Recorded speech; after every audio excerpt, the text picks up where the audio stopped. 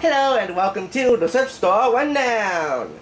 And uh, ladies and gentlemen, we got a special treat for you. The Hip Hip Hooray playlist is about to wrap up. And uh, I have a special treat. I got a 3 DVD disc set of 30 Minute Meals with Rachael Ray. This is the show that put her, you know, into the stratosphere of her own field in stardom. This is fun and fast. Yep, it's a cooking show, and uh, it's hands down my favorite cooking show. But I'll save that for final thoughts.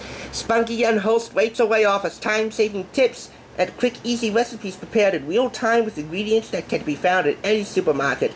The author of the successful series of 30 minute cookbooks, Rachael shows viewers that it is possible to whip up a healthy meal in half an hour or less without sacrificing the thing to the flavor department. Using the freshest ingredients available and uncomplicated techniques, Rachael Ray demystifies cooking.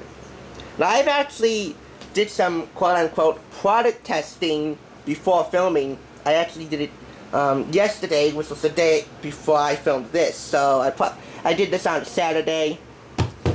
Here's a clip of that that I put on Instagram of my product testing this for review. Sauce is delicious. Really. There's a reason I named it You Won't Be Single for Long Sauce. Hey, a woman got engaged with this way, so I read in your book. Don't disappoint. I Okay, it's not necessarily a review, it's just a display, but I will review this in great detail on my final thoughts. So there you go. Rachael Ray, 30 minute meals, fun and fast. Uh, let's just show you the disc. All, all these discs. Um, we have Fast and Light.